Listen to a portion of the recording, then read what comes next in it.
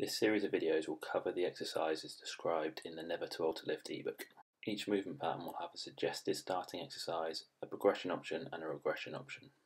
This video will look at three variations of the hip hinge exercise. The suggested exercise for the hip hinge is a Romanian deadlift using dumbbells. Start in standing with the dumbbells in each arm. Slowly move your bottom backwards and lower the dumbbells to the floor, keeping your back straight. During the movement, your shins should stay vertical and the weight should be on the heels rather than your toes. At the bottom of the movement, you should be aiming to feel a stretch in the back of your thighs in the hamstrings area. The progression option of the hip hinge is the conventional deadlift. For this exercise, you will lift the weight off the floor up to waist height and lower back down again. Once again, you're pushing your bottom backwards, keeping your shins vertical and keeping the weight on the heels.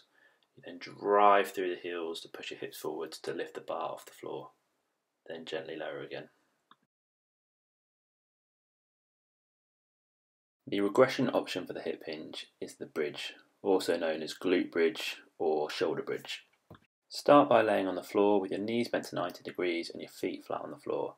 Cross your arms across your chest. Push through your heels to lift your hips off the floor and then slowly lower back down again. Your hips should lift high enough so there's a straight line between your knees and your shoulders. Try to avoid arching your back.